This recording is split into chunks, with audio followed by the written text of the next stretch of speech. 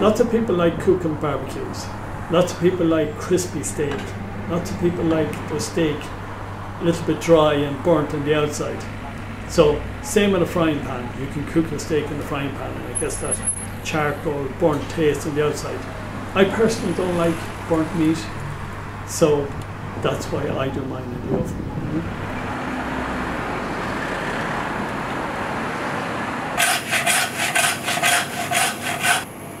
Today I cut a T-bone steak and I put it in display there.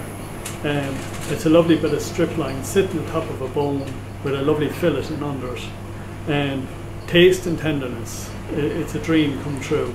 And on a, on a Sunday, when you have time to sit down and relax and enjoy it, it's, it's the most pleasurable meal of the lot. Um, very hard to eat on the run, you need to sit down and enjoy it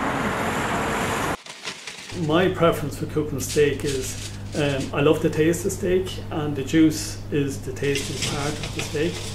So basically, I would put it on a tray, put tin foil down on a tray, put the steak on top of the tin foil. Um, I would put the tray under the griller, and I gently brown it on both sides.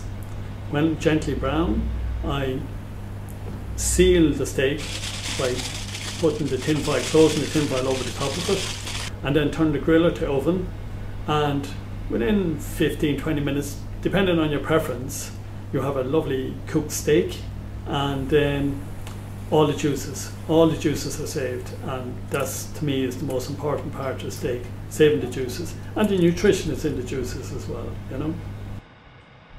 We in Ireland have the best young heifers that um, come off the best land and they're being bred from generation to generation the same breed.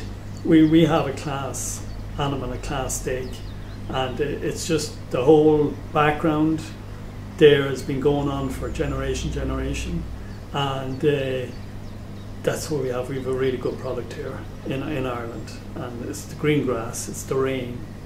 You know, we we've more of that than anyone else.